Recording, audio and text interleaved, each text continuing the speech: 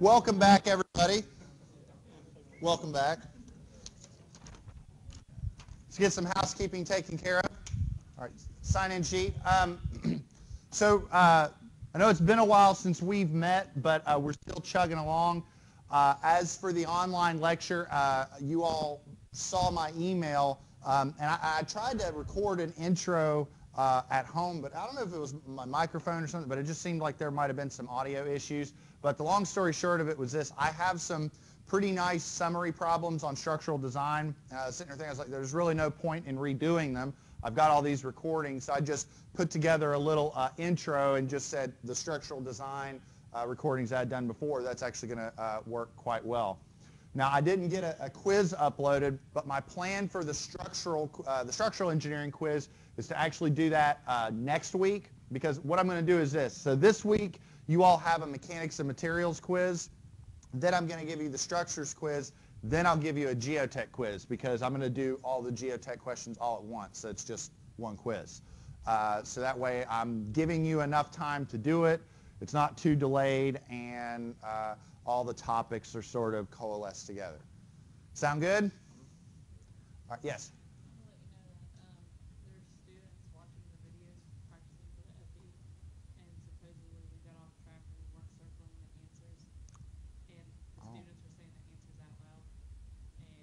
Oh, the ethics was probably the ethics one. Yes. Maybe I'll, I'll add a comment or something and say, here's the answers. So, yeah. They don't, the annotations, they don't really do that anymore. So you can't go in and say B. So, so I will do something about that. Oh, steel design. Okay. So I was going to uh, say a joke like bad news about steel design for next semester. I'm just kidding. I'm just kidding. but I do have actually a very serious uh, just point about steel design because everybody in here uh, seems to have, uh, or just about everybody has expressed interest in taking it. Um, and it's about the textbook. Okay, so first off, there is no textbook for steel design. Okay, so that, the, there's the manual. Okay, so give me a second. So, so here, here's what's going to happen with the textbook. So if you go to the bookstore and look up the textbook for steel design, it's going to be blank. There's not going to be anything there. What's going to happen is this. Okay, the steel manual is only available from AISC, the folks who write it. They, you, you know, you can't. They're the only ones who who, uh, who uh, publish it and, and uh, produce it. Now, the manual by itself, if you just go and buy it, is like 300 some bucks. Uh, that's not going to be your price for it. What's going to happen is this. I, as the professor, go on uh, AISC's page and I make a request for a student discount.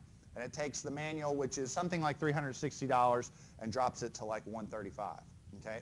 And what happens is I, uh, I get a coupon code that I provide you all. You all go and, and purchase it on your own uh, and get the manual, okay? Um, you won't really desperately need the manual for the first like couple weeks, so you've got time to get it, okay? But because you pretty much have to have the manual, the way that I get around that is I say you don't have to buy a book. So there's no textbook for the class. So I'm trying to save you some money. So, But I'm telling you this now because I can see it in December. Where's the textbook, Dr. Mike? There's nothing in the bookstore. This, this is me telling you that. So everybody okay with that? When AISC, whenever they give it to me, I've already requested it. what happens is this, when you request the coupon code, AISC asks for when's the class start, or when, when's the start date for the class. And so the start date for the class is January 14th. So they might not provide it to me until like December or January. As soon as I get it, I'll email blast the class. But there's another point. Uh, you probably, if you're planning on taking steel, try and get signed in to the class sooner rather than later so I can get you that coupon code. Don't worry, I'll make it available to everybody on day one if you haven't already gotten it. But, but yeah. Yeah.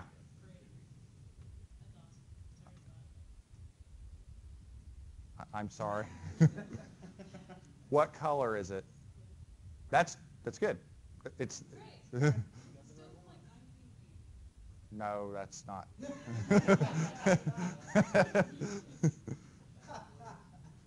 I'm trying to find the. It's the wrong shade of blue. It's like a turquoise. It's, it's like that. That's that, that, There you go. It kind of looks like that. No, it's not that one.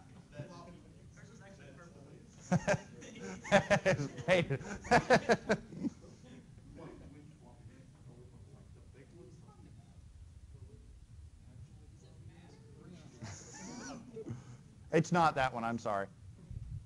I'm sorry. But but again, I'm not making you buy a book, and that's yeah. So that that'll make it make life a lot easier. Sound good? Okay, I just wanted to give you all a piece of housekeeping on that. Now, there is going to be a quiz for mechanics and materials. It should be up today. It's going to be due next Wednesday. One of the things I'm adding to this quiz uh, is some conceptual problems, like ones that don't require any math. Um, and I'm probably going to start to add a few of those on the civil engineering related topics. Like you'll get some uh, soils thing, conceptual problems and whatnot. And I'm going to try and keep it generic as possible uh, so that you all can, can, uh, can you know, uh, get along with those. Like it, will be some pretty basic stuff. Uh, I'm going to try and keep the, the civil reviews pretty basic and pretty fundamental from here on out. Uh, sound good? All right, on to mechanics of materials or mechanics of deformable bodies, whatever you, whatever you want to call it. Okay, I don't have many problems for you. In fact, I only have six problems. Um, but these six problems pretty well encapsulate pretty much everything you need uh, for mechanics of materials. Um, there, now, don't get me wrong, it's not everything. So, for instance, I don't have composite bending uh, in, in, this, uh, in this set, but I do have Mohr circle and principal stresses. I have axial loads. I have torsional loads. I have bending and shear. I have a buckling problem. I've got a, a lot of, uh, of that stuff. Now, there's a couple things that I'm not uh, going to, to throw in here. For instance, um, everybody in here had me, did everybody in here have me for 321 for civil materials? Well, for those of you, are, have you all in materials yet discussed like stress strain curves and, and uh,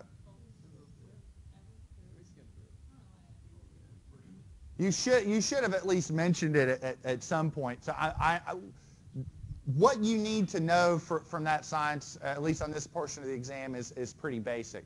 What I want to do is cover the stuff that is central to Engineering 216, that's fundamental, and that's pretty straightforward. Okay, so I've got six problems that's, that is uh, targeted to address that. We're going to start off with the first one. Okay, so this first problem is an axial load uh, problem. Okay, now I have a 10 kilogram axial load, and it is uh, it is uniformly carried by an aluminum alloy pipe with an outside diameter of 10 centimeters and an inside diameter of 9.6 centimeters. Now, the pipe is 1.2 meters long. Uh, we have the Young's modulus is 75,000 uh, megapascals. Neglecting the effects of buckling, how much is the pipe compressed? Okay, this is a perfect example of a problem uh, uh, dealing with axial loads, and this covers quite a bit of stuff uh, that, I, that I think you all uh, need to be apprised of. So let me see if I can write here on the screen. We might be able to do a lot of these calcs right here. Okay, so the first thing I, I want to mention right off the bat is units. I would argue that, that mechanics and materials is probably one of the sections on the FE where units can get you more than anything. And so my advice to you is this. Right off the bat, convert everything into a consistent unit system. And by consistent unit system, I mean pick a force unit and pick a length unit and keep it consistent. So what I'm going to do for this problem uh, is this. I'm going to say that forces are in newtons and lengths are in meters. Okay? So therefore, stress is in newtons per meter squared. And what's another name for that? That's a Pascal. Okay? Now, the reason why I throw that out there is because another shorthand, which we're going to see later, is if you have a kilonewton and a millimeter squared, that's a gigapascal. So just, just keep that in mind. Okay. All right. Let's write down some of these, uh, these fundamental values. So let's start off with some basics. Okay, the length of this pipe is 1.2 meters. Okay, right off the bat, are the units consistent? Well, what's that? No, for this for this value, for length. Yeah. All right. Now, what about E? Okay, first off, y'all remember that Young's modulus is represented by E, right? Your slope or your, your, uh, your elastic region. So that is 75,000 megapascals. Is that consistent? No. Okay? The easiest way of dealing with that is recognizing that mega uh, is just shorthand for times 10 to the what? Somebody, I heard it. 6. There you go. So this is 75,000 times 10 to the 6 pascals. Okay? And E values are huge, so don't get freaked out if your Young's modulus is really big. Okay, that, that's fine. All right. Now, what about your axial load? Okay. Now, let's keep in mind what's going on. We're taking this aluminum pipe and we're pressing on it. I mean, think, sort of conceptualize in your head what's going on. A 10 kilogram axial load is uniformly carried by an aluminum pipe. So you've got this pipe and you have a 10 kilogram load on that pipe. All right. So if the 10 kilograms represents the mass, how do I determine the force on that pipe? Multiply by gravity. So, uh, so our axial load is 10 kilograms times 9.81 meters per second squared. So that's 98.1, and what are the units there? Newtons. Is that a consistent unit system? Yeah, because we have our forces in newtons and our uh, uh, lengths in meters, everything's fine there. Now, in order to determine stress, let's just go back to basic stress, okay? Um, I mean, what is a basic definition of stress? It's force per unit what? Area, right? It's like it's, stress is basically like pressure, okay? The only difference is pressure is a term related to fluids. Stress is a term related to solids. Okay? So what we need is the cross-sectional area of this pipe. Okay? So remember, samurai sword or lightsaber, we cut through the pipe. What do we see? Okay? Let's read the, uh, let's read the description.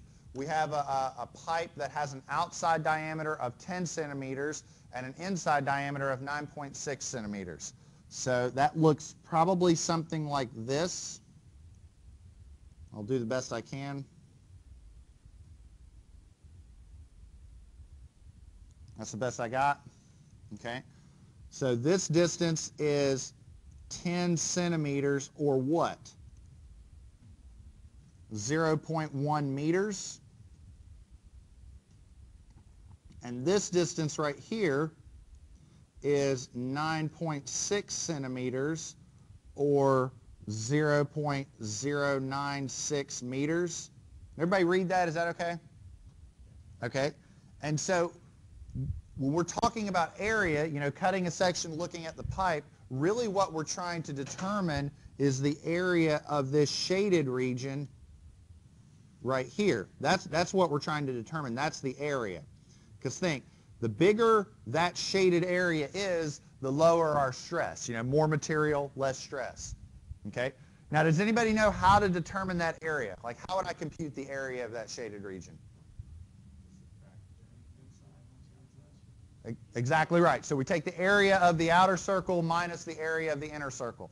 Now, with uh, in terms of diameters, how do you find the area of a circle? Pi d squared divided by 4. There we go. So I propose that to compute that area, we take pi over 4, and I'm going to say d outer squared minus d inner squared. Is everybody okay with that? That's not bad, right? So pi over 4,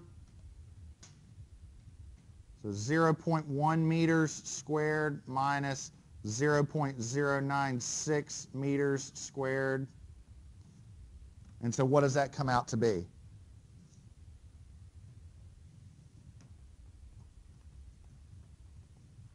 It'll be a really tiny value because we're representing the, think about what are the units going to be for this area?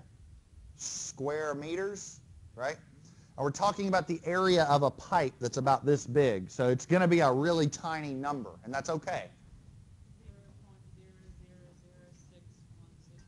616. So how about this? In, in scientific notation, would you say 6.16 times 10 to the minus 4? And that's meters squared. Is everybody okay with that? And I got seconds on that? Okay.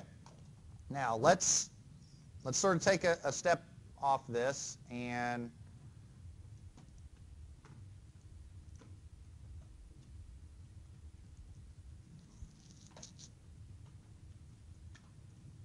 let's go to the handbook.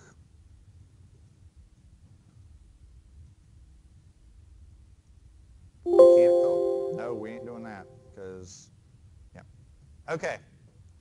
Now, open the handbook and you'll have the section for mechanics of materials.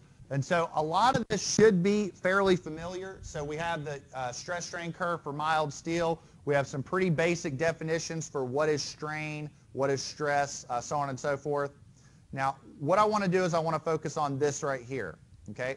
So this is uniaxial loading and deformation. So this is taking a member and either yanking on an in tension or applying compression to it. Okay. And so let, us take a look at what we've determined so far.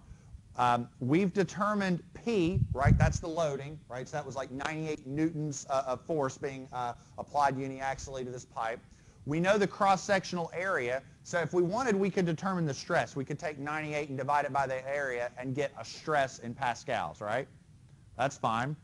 Uh, we uh, also know the length of this member, uh, and we know Young's modulus. We know E, okay?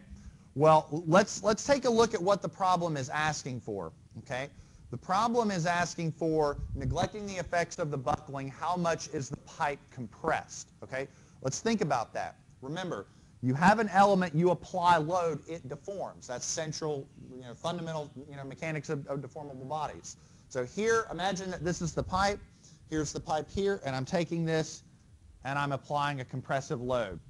Really, what I'm after is this, delta, the longitudinal deformation, how much uh, it squishes or how much it stretches, okay? And so to compute that, I take PL over AE. So going back to my slide, uh, so therefore,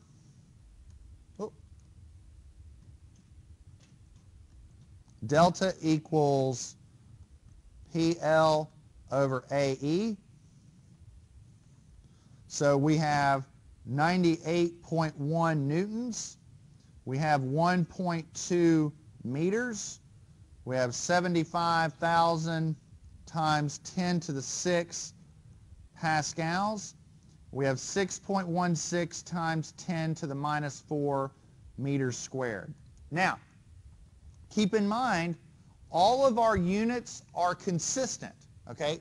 Everything's in newtons and meters. This is Pascal, newtons per meter squared. That's meters squared. So if I'm computing a deflection, what, whatever this number is, what are the units going to be? Meters, okay? Now let's see if we have a value. Now it's going to be tiny, and that's okay. Deflections tend to be rather tiny. Now remember, it's in meters. Like we're asking how much does this pipe deform in meters? It's going to be really small, so that's okay.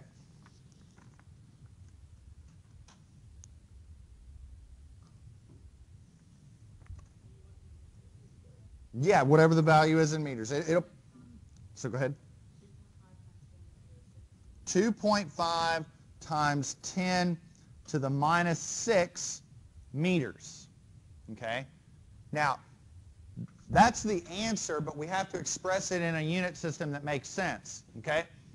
every one of our units uh, for our answers are in millimeters, okay? So I propose that we need to convert this to millimeters. Anybody know how to convert that to millimeters? It'd be 2.5 times 10 to the negative 3, right? Because remember, an m, a little m, is a 10 times minus 3, okay? So how do I express that number in 10, uh, 10 to the minus 3? So it'd be like 1, 2, 3. So it'd be 0 0.00256 or something millimeters.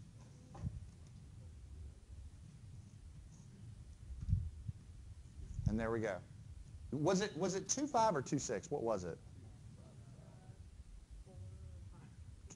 255, so 255 rounded up 256, yeah.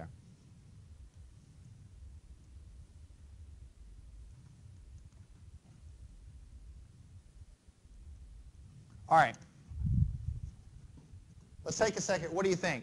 Any questions on that one? It's not too bad, right? This is pretty much, in a nutshell, axial loads. And axial loads is a big component of mechanics of deformable bodies, okay? Let's also be clear. With these values, we can compute quite a bit, okay? I want before we move on to the next problem, I really want to want to talk about this, okay? I have P and I have A, so I could determine stress, okay? I now have deflection and the original length, so I could determine strain, okay? Pop quiz, what are the units for strain?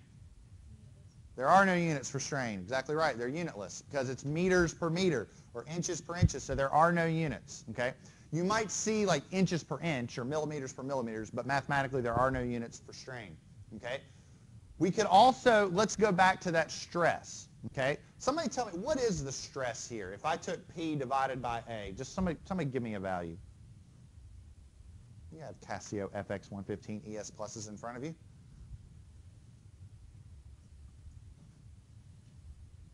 Just so we can have something to, to discuss. 160,000 pascals? Is, that, is everybody else getting that? So 160,000 pascals, we could compare 160,000 pascals against an allowable stress. Let's say the allowable stress is 200,000 pascals then that would determine whether or not the design is safe. Okay? We could also take those two and divide them to determine a factor of safety. All right? We could take 200,000 divided by 160 and get a factor of safety of 1.34, whatever it is. Um, does that make sense? Everybody okay with that? All right, so I, I know that this problem seems pretty straightforward, but I want you to think about all that you can do with this and where you can go with it. Okay? Sound good? All right. Now, our next problem involves something being twisted, okay? Now, a couple things about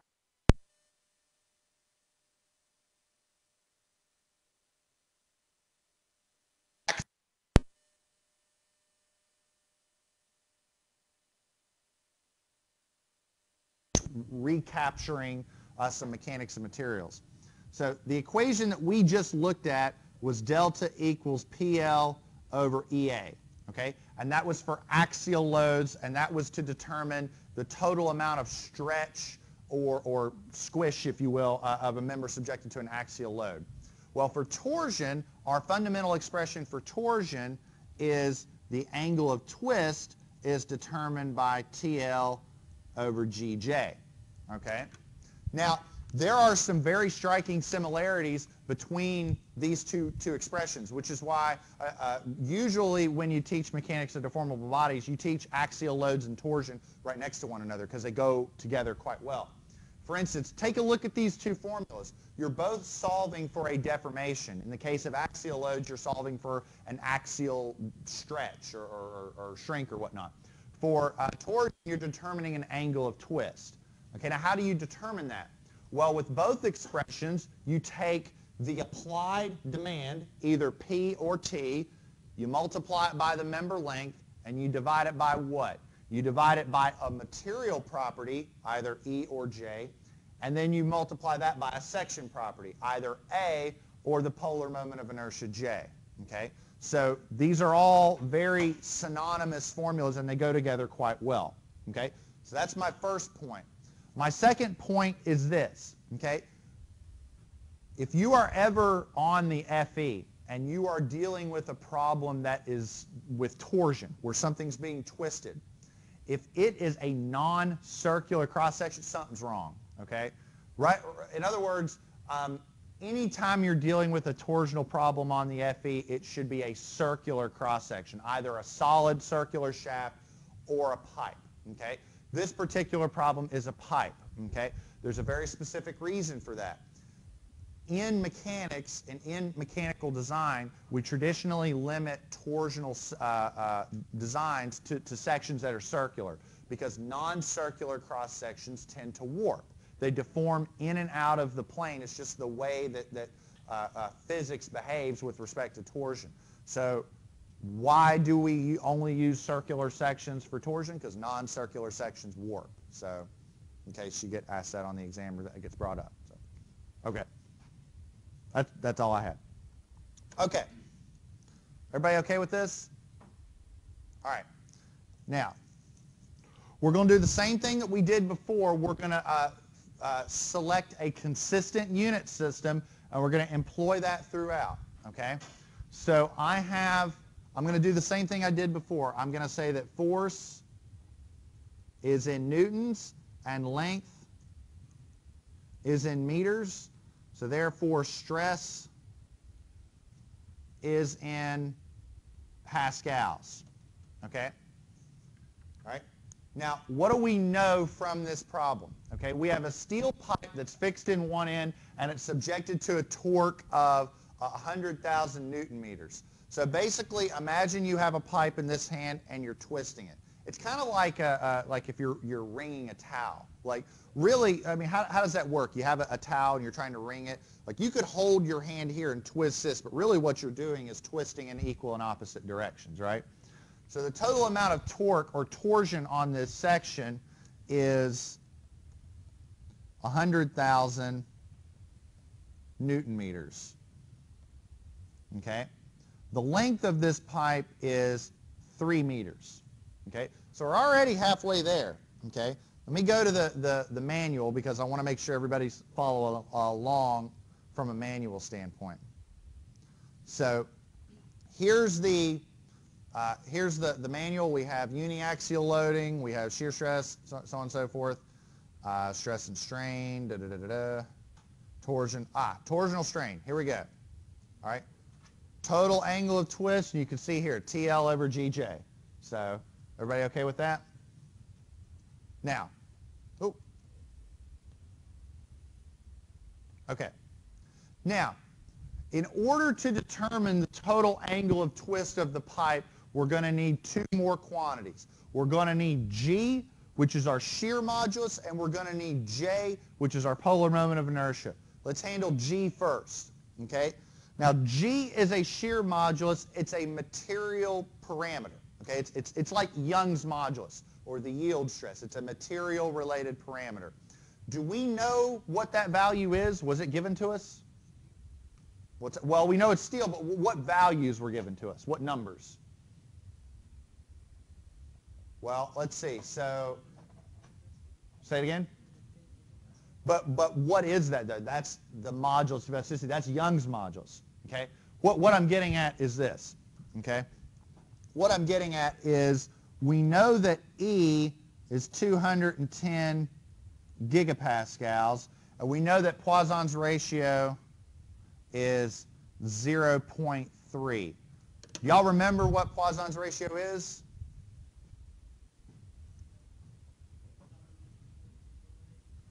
Exact. Think of, think of the easiest way. I know it's a little gross, but think about chewing gum. You know, if you take a piece of chewing gum and you stretch it, what happens? It gets longer, but it also gets thinner, right? Okay.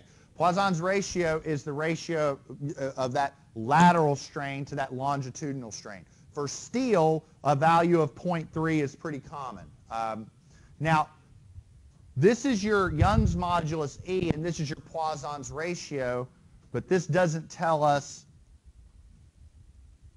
what the shear modulus is. Those of you who have your manuals in front of you, can you tell me what the expression is? What is the formula for G? It's in there. There we go.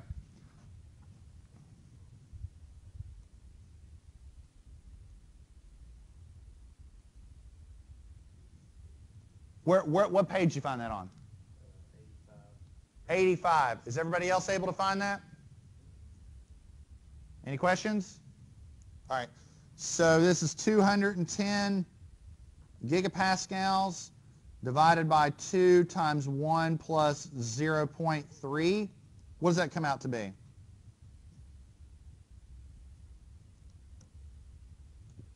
Excuse me. Oh, I wasn't writing on the slide. Whoops. I'm writing just sort of like on the screen. I'm going to convert that here in a second. You're, you're exactly right. So this was E is 210 gigapascals and nu is 0.3.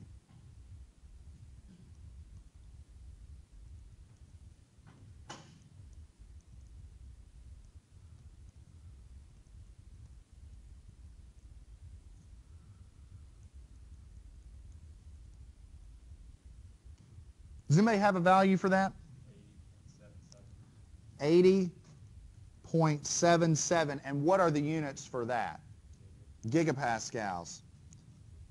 Is that a consistent unit system? No, because we need it in pascals. So I'm going to say 80.77 times 10 to the ninth pascals.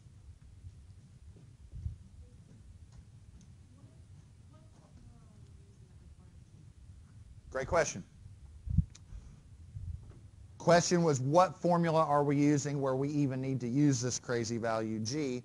And the answer is, if you go to page 80, uh, 87, right here, if you look at torsional strain, there should be a section here called torsional strain. Okay, what we are trying to determine is the total angle of twist, which is TL over GJ, which, by the way, the only time that you would need to integrate this, see if you notice how it's expressed in an integral uh, uh, fashion, the only time you ever actually need to integrate is in one of two uh, uh, uh scenarios.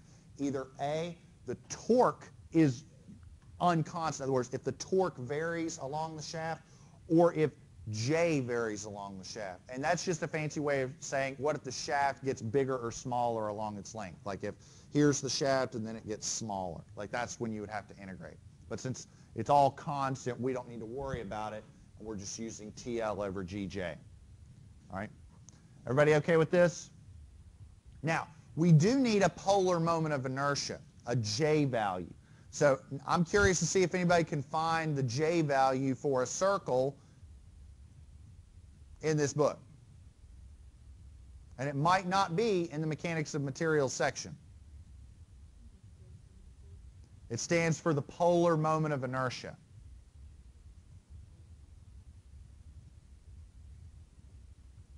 I'll give you a clue. It's in the statics section.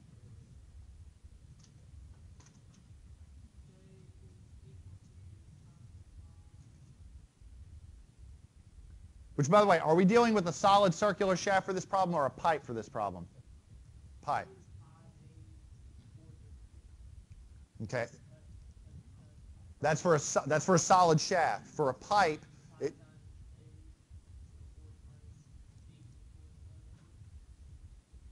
this right here. Okay. Yes, sir. Oh. You stole his thunder, man. You owe him an apology. okay. All right. So uh, let me go back here. Okay, so our J value is uh, pi over 2 times a to the fourth minus b to the fourth. Now the a values on that expression, are they diameters or radii? Radii, okay? Now, what I'm going to do is go ahead and convert those right now. So help me out. We have the pipe. It has an outside diameter of 35 centimeters and a wall thickness of one centimeter. Okay? So help me out with this. Let's see what we got. Here's our pipe.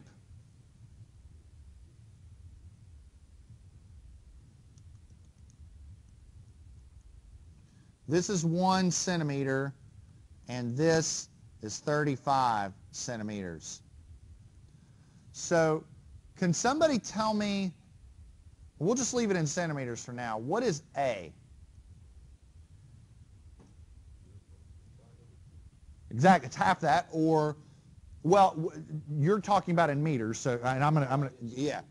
So I'm gonna say it's 17.5 centimeters or 0.175 meters. Is everybody okay with that? Okay. And again, that's just from the center to the outside. So if that's A, what is B? Once, well, no, no, no. Think from here to here, there you go. There you go. So, so from there to there is A. From here to here is B. So that's A.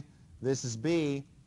This is 16.5 centimeters or 0.165 meters. So therefore, J pi over 2 a to the fourth minus b to the fourth, which is pi over 2 times whoop,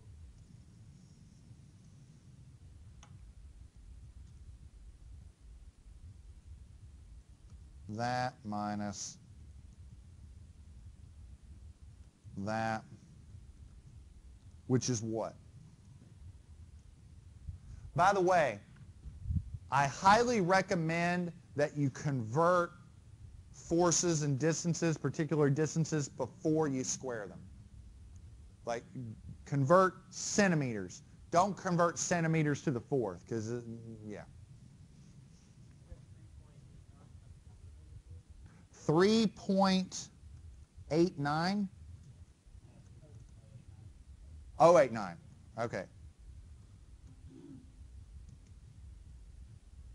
Times 10 to the minus fourth, and that is what? What was the units? Meters to the fourth. Okay? All right. Now I'm running out of a little bit of room here on the slide, but I've got a nice spot of room up here up top. So I'm going to do this up here. So therefore, phi is TL over GJ, which is, so the torque is 100,000 Newton meters. L is 3 meters. G is 80.77 times 10 to the ninth pascals. And J 3.089 times 10 to the fourth meters to the fourth. I don't know why the pen's getting all curly and weird up there, but, but it is. Now, if you follow the units for this computation, up top we have Newton meters times meters. So we have newtons times meters squared. That's on the top. On the bottom, you have newtons over meters squared. That's the Pascal times the meters to the fourth chug it out and you'll find all your units cancel. Okay? Now you're computing an angle. How do you how do you express an angle with no units? It is expressed in radians. Okay? So when you compute this out, what do you get?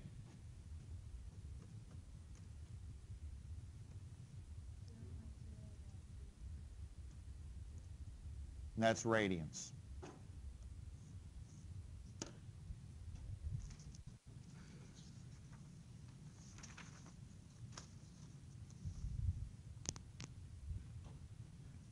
What do you think? Are there any questions on this? Okay, again, I want to say the same thing before uh, that I did related to axial loads. We have the T we have the L, we have the G, we have the J, we have the angle of twist. There's a lot of things that we can compute right now, okay? If you take TR over J, you can compute the shear stress. We could then compare that against an allowable to see what our factor of safety is. We could take this and determine the angle of twist, or the, the, the not the angle of twist, but the, uh, the shear strain, okay? Shear strain, if we take that uh, rotation, divide it by the length, that'll be the shear strain, gamma. Uh, it's like change in length over the original length, change in angle over the original length is the shear strain. Okay? Um, everybody okay with this? I know you've at least seen this before. I know you have.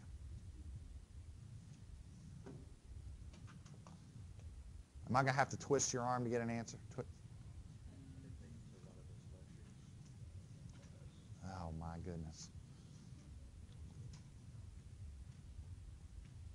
Now, I hit, I hit the button. There we go. Okay. So far, so good? Okay. We have a beam that has a triangular cross-section as shown, okay? What is the maximum compressive stress in the beam, okay? This is a very fundamental question uh, that you would get on the FE, and it's basically testing the most fundamental stress formula that you'll uh, use, which is sigma equals my over i the bending stress uh, function uh, for beams. Uh, now, we, we, whether or not it's been a while since you've done this in mechanics, we did this in concrete design. We used sigma equals my over i quite a bit when we were doing elastic uh, bending stresses in the beginning. So I know, I know you've seen this before. Uh, unfortunately, we have a, a situation where the, um, the beam is pretty straightforward. Now, hopefully you all don't need to look into the manual. I have a simply supported beam with a uniformly distributed load. What is the formula for the maximum bending moment on that beam? Nope. Over 8. Remember, over 2 is for a cantilever. For uh, WL squared over 8 for a simply supported beam. And again, if you didn't remember, it's in the manual. I did trick you on the test, didn't I? Well, that wasn't the trick. It was if you put the rebar in the bottom of the beam.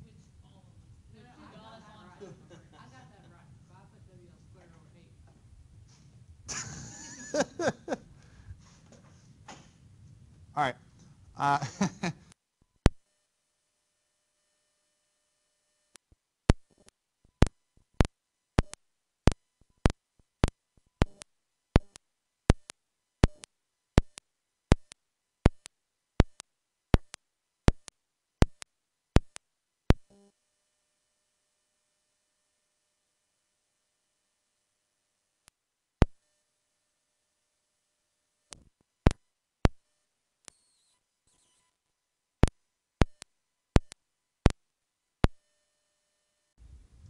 Okay, so I think we're back.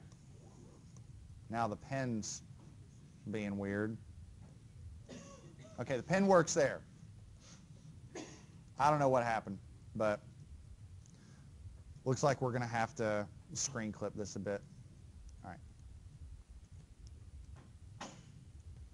Okay, so here's our problem. And we need to determine the maximum bending stress in this beam. So we'll say 3. So first off, we need the maximum bending moment, which is WL squared over 8.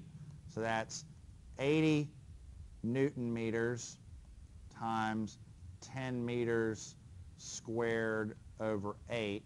So our bending moment is what?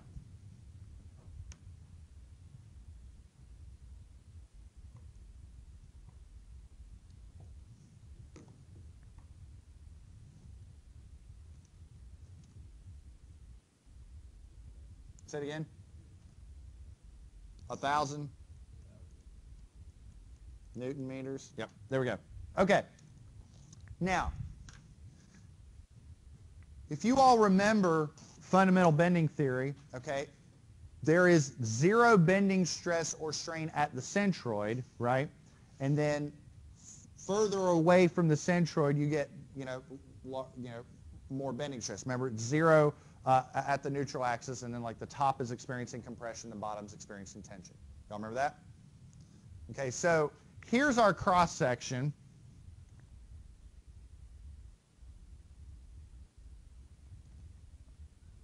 where is our centroid? This is a triangle. Where's our centroid? One third of the way up, right? Okay. So this dimension here, that's 2h over 3. This dimension is h over 3, right? And what does the bending stress profile look like? Well, this is compression, goes to 0, and that's that, right? Everybody remember that? So what we need to determine is sigma equals my over i. We know m. What about our y? Well, our y is going to be 2h over 3. All right? So y, oh, so y equals 2h over 3. The, we have two questions we have to answer. Okay, first off, what is h and what is i? Okay, well, here's our triangle.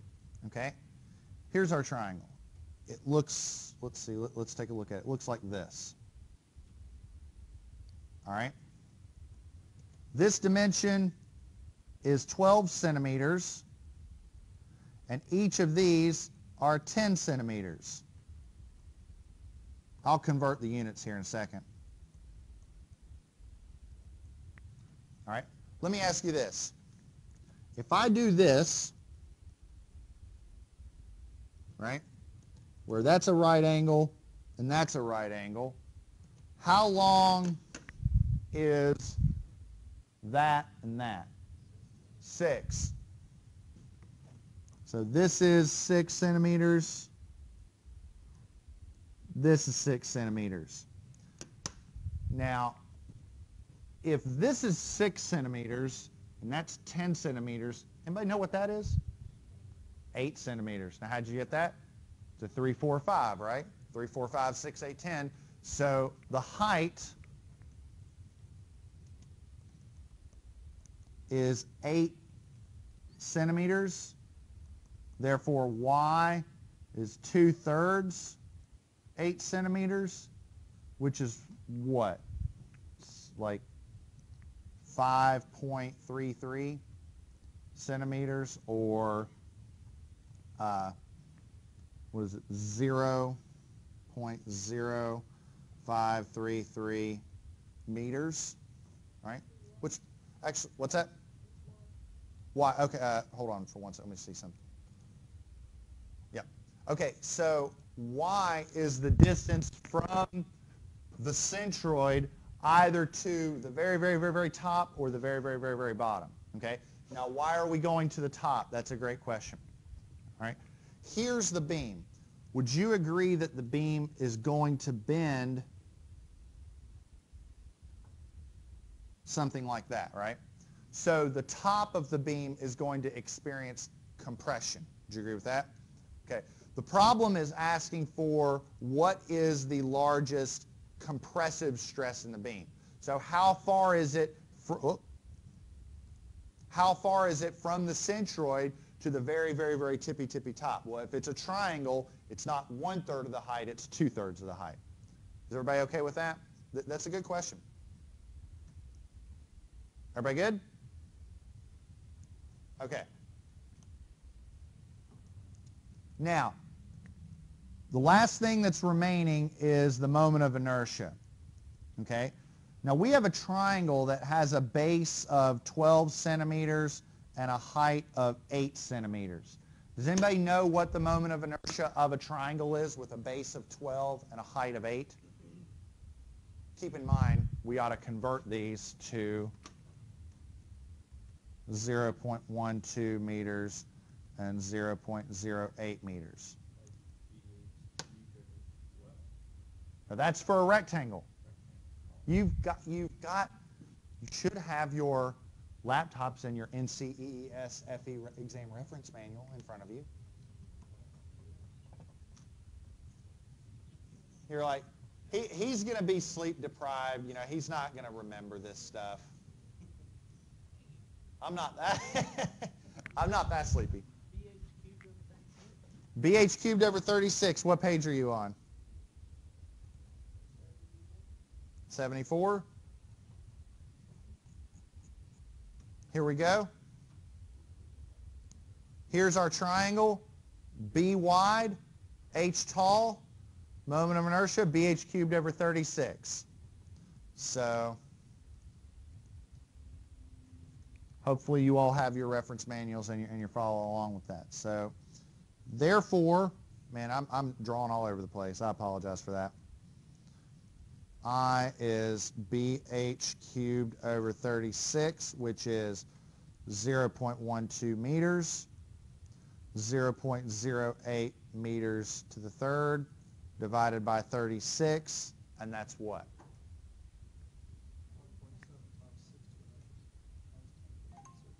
1.7 times 10 to the minus 6, and that's meters to the fourth. So therefore, sigma equals my over i. So that is 1,000 newton meters. That is 0.0533 meters. That is 1.7 times 10 to the minus 6 meters to the fourth. What does that come out to be?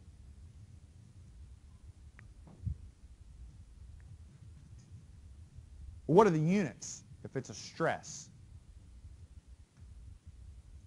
Newtons and meters squared is going to be a Pascal. That's going to be a big number.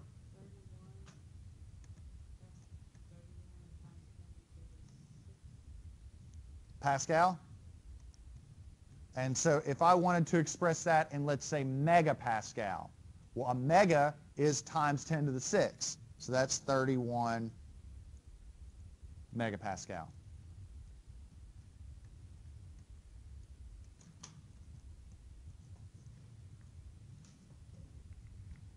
What do we think?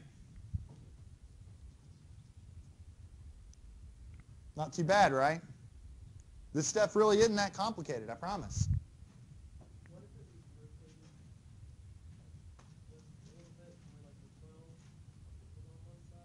You mean like if the 12 was up top and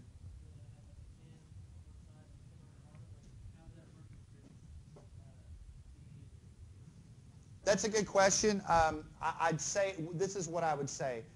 That probably wouldn't happen on the exam because it sounds to me what you're talking about is a section that is unsymmetric. Non-symmetric bending is, it's not out there, it's just the formula gets a little more intense because you need uh, a moment of inertia in the x direction, you need a moment of inertia in the y direction, and you need a product moment of inertia. And that's a lot for a three-minute problem. I'm not saying that it couldn't happen, but probably not. So. Even I might say just guess C and move on. So everybody okay with this? All right. Um, okay. Let's move on to this one. I'm going to try something. I'm going to try and close the PowerPoint and reopen it and see if that fixes the pen because it's not wanting to write on the pen. Give me one second. I apologize.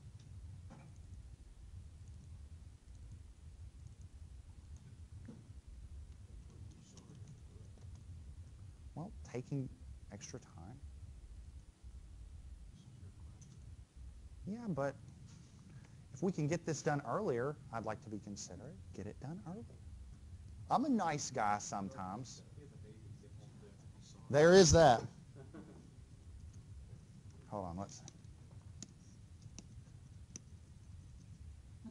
All right. Never mind. I tried. Here, here's what we'll do. Here's what we'll do.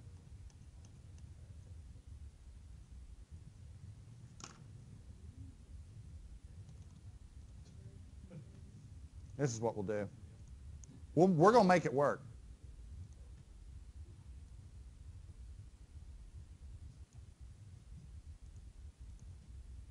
We will make this work.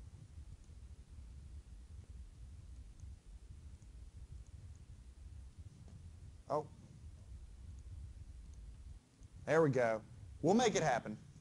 All right, so I have a rectangular beam that is four centimeters wide, that's six centimeters high, that is subjected to a shear of 7,000 newtons at a particular location.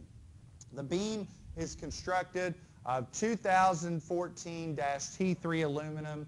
What is most nearly the maximum shear stress? Okay. First off, before we even begin this problem, um, we have uh, a load. Okay. We have a load of four uh, of 7,000 newtons, and we are to take that load and determine a stress. Okay. What material that beam's made out of doesn't matter. Okay? So that 2014 T3 aluminum is just there to throw you. Okay? The only time that the material parameters matter is if you are trying to relate applied load to resulting deformation. If the problem was saying how much does it deform, then you need to know material parameters. But if all you're trying to determine is stress, doesn't matter. Okay? Now, what we have here is a transverse shear stress. Okay, now first off, we know that V in this case is 7,000 newtons. Okay, now can somebody tell me, is there a formula in the manual for transverse shear? Because what we're talking about is a beam doing that. Is there a stress formula for transverse shear? There is. I'm, I'm positive of it. Say it again. VQ over IB. Um, what happened there? I'm not having a good technological day. All right. So here's our here's our fundamental uh, shear stress formula: VQ over IB. Okay. Now, what is B? The width or the beam. So that's going to be 4 centimeters, 0.04 meters. Okay? What is I? I is the moment of inertia. Okay, so we have H is 6 centimeters, which is 0.06 meters. Therefore, the moment of inertia is BH cubed over what? 12. There we go. So 0.04 times 0.06 over 12 is what?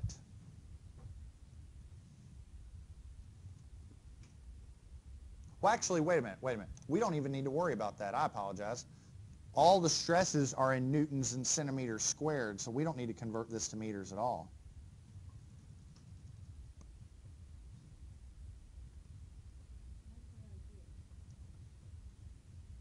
Well, you just have to convert back at the end. I'm sorry. I really am. My heart is breaking.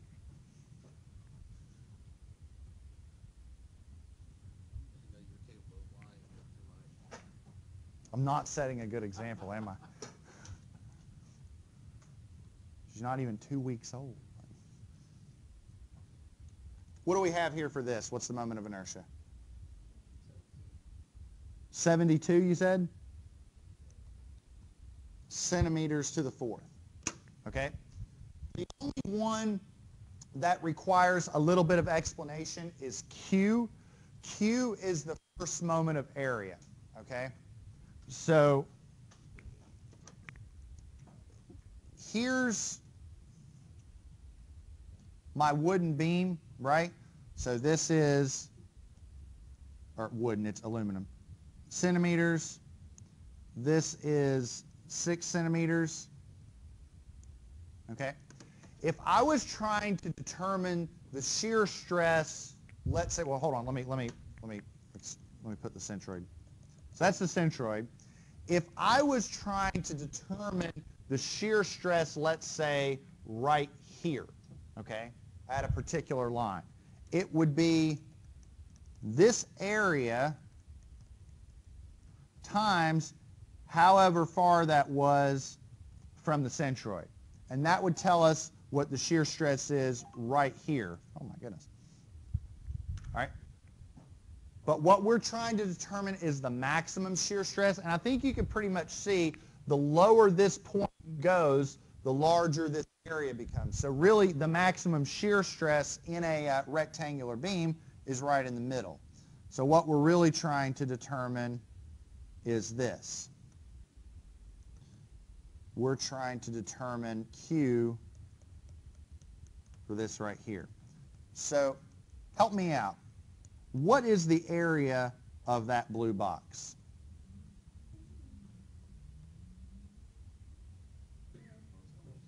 There we go. And what is that distance from the centroid of the whole beam to the centroid of that block?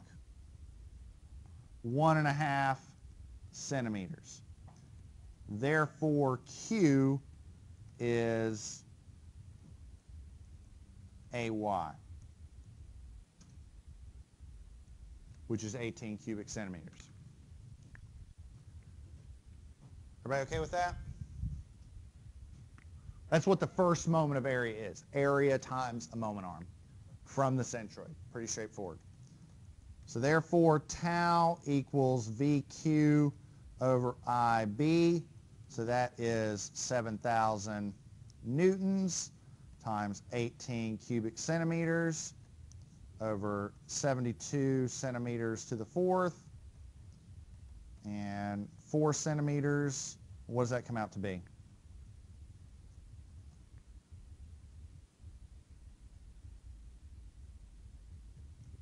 Excuse me.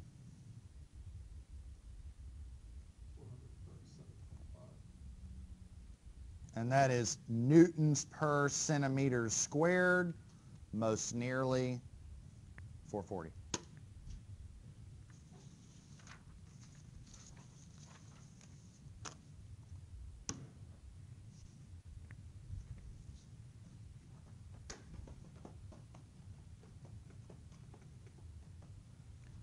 So far, so good? Any questions on this one? Okay. Two more. And this next one's really quick. Actually, they're both pretty quick.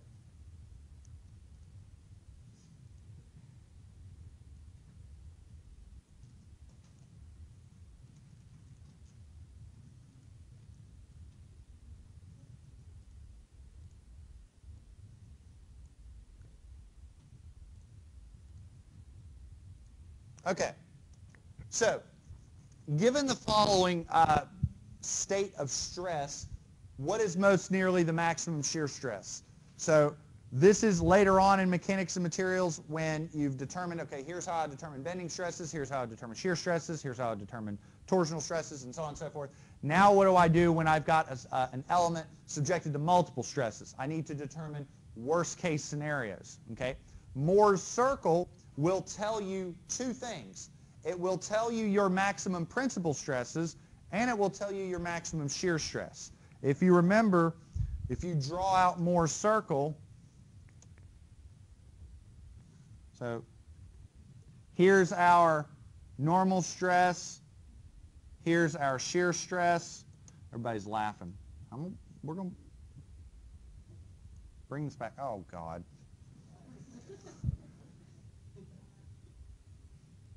That's actually not bad. I'm not going to do better. Okay? When you plot out Mohr circle, this is going to tell you your worst, these are your principal stresses. And then the radius of that circle, or this distance, is your maximum shear stress. Okay? Now, you don't need to remember all of that because you have the manual, okay? So, what? Guys looking at me like, I'm getting these weird, weird, oh, no. I want fit one full page. Okay. Mechanics of materials. Here we go. So, Mohr's circle. Here's Mohr's circle. We have our principal stresses. Here's the center of that circle. Here's the radius of that circle. And the radius of that circle will tell us the maximum shear stress. So it's very plug and chug.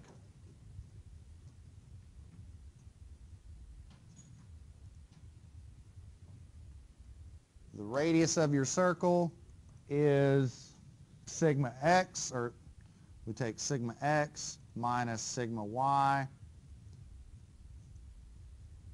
Average those, square it, plus tau xy squared, square root of the whole thing. So that is, what we have, minus 140 minus 205 over 2 squared plus 100 squared. Nice thing about Mohr circle problems, everything's usually in consistent units and your answer comes out in consistent units. Like everything's in megapascals and the answer's in megapascals. So what do we get?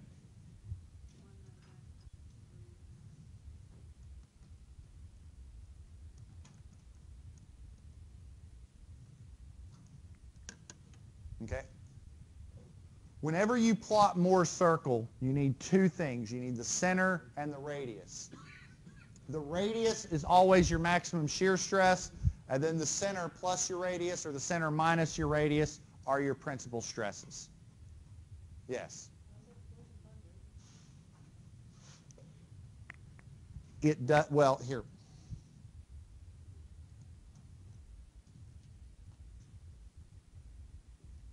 see, let me go right here. This is your expression for principal stresses, okay?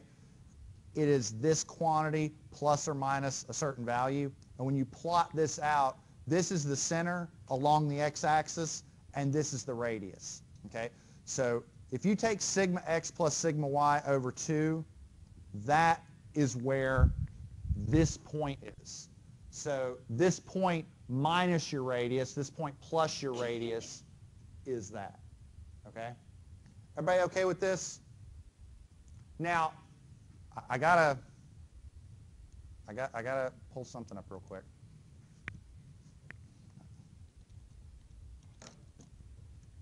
Because I'm gonna, everybody's gonna understand this. I, I, promise.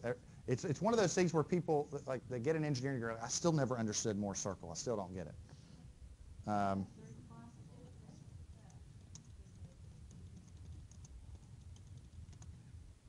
Okay. Okay. All right. Now,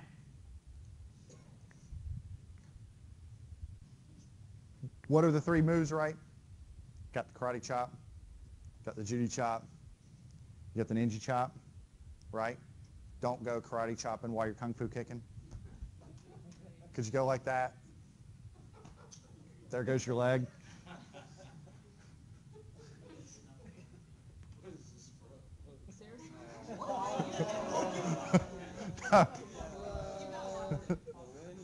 well, well, well, hey, hey, hey, we'll get, we'll, we will show it at the end. Okay. All right, hold on, hold on, hold on, hold on, hold on, hold on. So let me explain what's happening here because I'm going to explain Mohr circle, I promise. Okay? Up until now, when we've been cutting sections using the samurai sword or lightsaber, we've been cutting like this. Okay? Because generally that's what makes the most sense, okay? But what I want to do is introduce the concept, well, what if we cut it at an angle, okay? When you cut a section at an angle, you can get, you know, different stress components. You could get a component in the x direction, component in the y direction, shear stress, what have you, okay?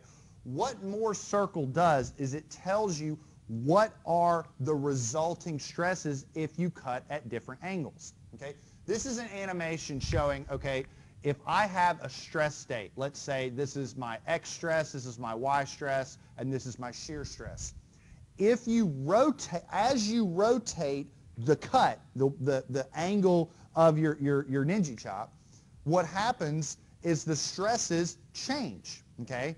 because you're cutting at a different section. So it's like going from, from one coordinate system to another. Okay? Now, what I want you to do is focus on this line and this line. Okay? Those lines represent the shear stress. They're equal and opposite uh, on those on those faces. Okay?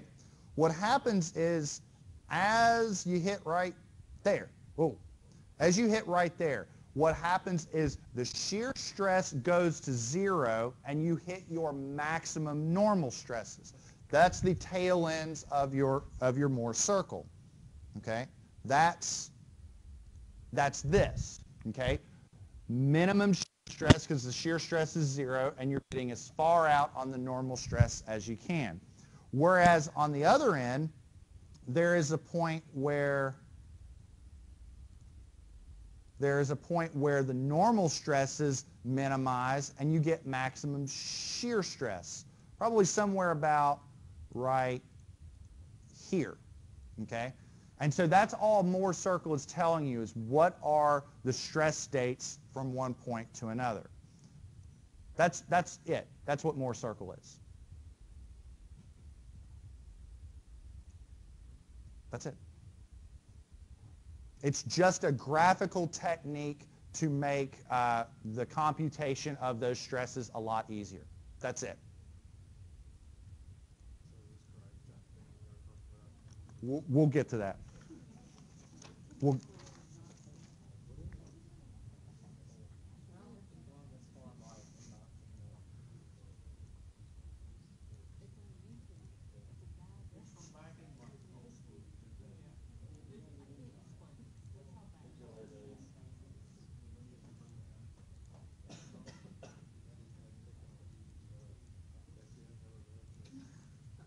All right. Okay, all right, all right. It's our last problem. It's our last problem. So this problem is the final topic in mechanics of materials traditionally uh, in the course and on the exam, and that's the concept of buckling, okay? So what we have here is we have a rectangular steel bar that's uh, with, with associated dimensions, and it's subjected to axial compression, okay? Now the bar has a length of 1.75 meters. It has a modulus of elasticity as follows. What's the critical buckling load? Okay, so we're going to compute a couple values right off the bat. However, I'm going to introduce a, a different consistent unit system. What I'm going to do is I'm going to say that my force is going to be in kilonewtons and my lengths need to be in millimeters. The reason why is because my resulting stress, if you take a kilonewton and divide it by a millimeter squared, you get a gigapascal, okay? Just follow the units and, and, and you will see, okay?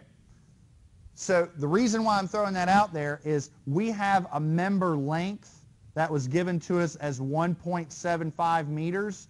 Instead of leaving it in meters, I'm actually going to convert that to 1750 millimeters. Okay?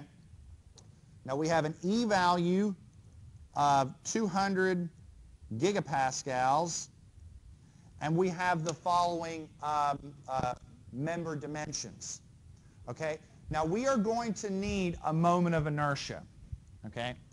Now we're going to need a moment of inertia, and the formula is BH cubed over 12.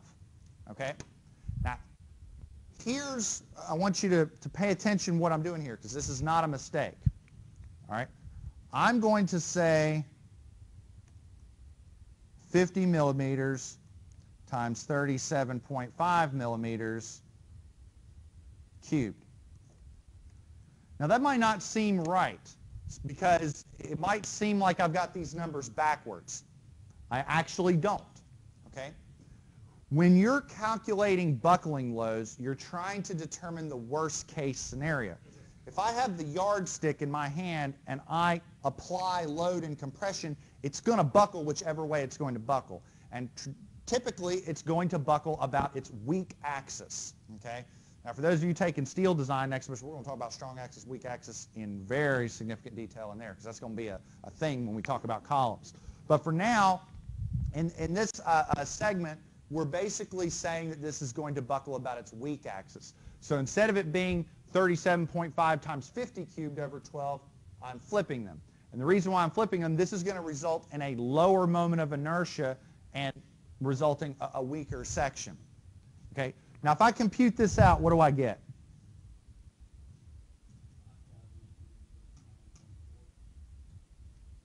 What what's that? Two point like two point like one nine seven something like that times ten to the fifth. that's millimeters to the fourth. Okay? Everybody okay with that? Now, what we're determining in this problem is a critical buckling load. Okay? Now, if I go to, you know, trusty FE reference manual, here we go. Critical buckling load. All right? So pi squared EI over KL squared. Now, K is our effective length factor. Okay? When we derive, in mechanics of materials, when you derive the fundamental expression for column buckling, you always derive it based off of the based off a pin-pin column. Okay, so if you're ever dealing with a pin-pin column, your K value is one. What you then do is adjust that expression. So what if you have a fixed fixed column or a fixed free column or a pin fixed column? You adjust this expression by using a different K value. Now for our purposes, we have a problem that is pin-pinned, okay, because uh, it says right here, pinned at each end. So because we have a column that's pinned at each end, our K value is 1, and our KL is 1750 millimeters. But if you had a column that was fixed at one end and pinned at another, or fixed at one end and free at the, uh, free at the other, you would just use a different K value. Okay? So therefore, our critical buckling load is pi squared EI divided by KL squared. So pi squared times 200 gigapascals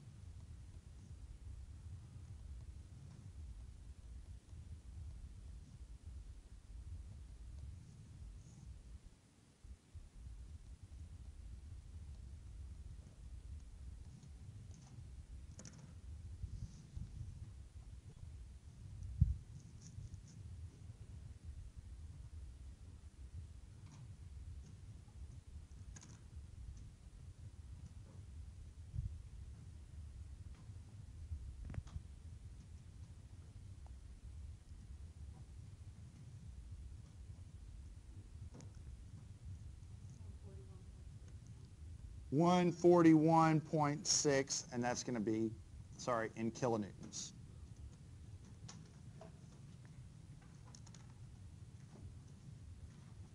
What do you think?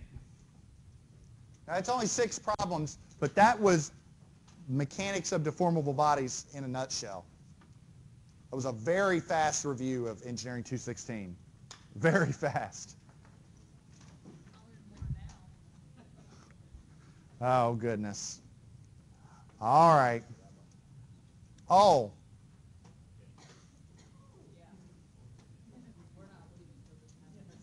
You know what? What the heck? no, I don't.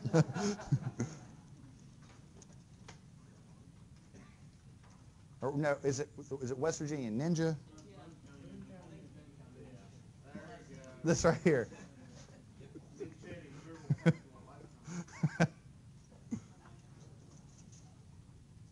All right.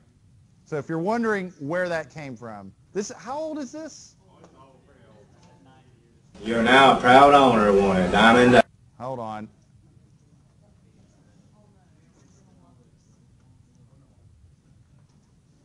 What the heck? We'll just have fun with it.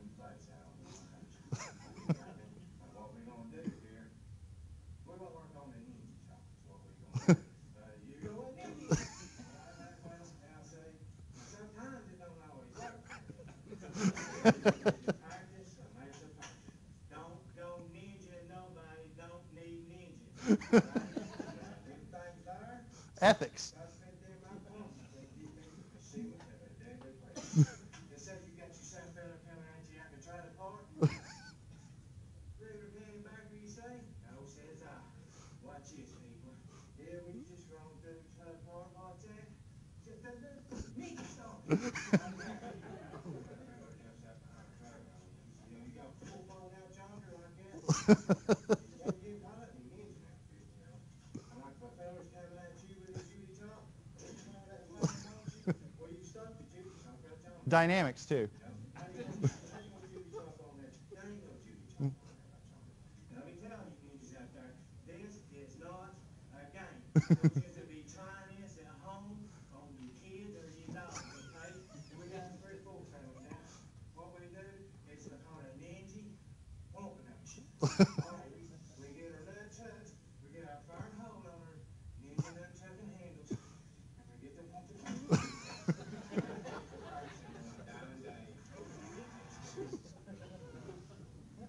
So now, now you've been oriented. So keep in mind that there was there was dynamics and ethics in that review as, as well, you know. That's all I got.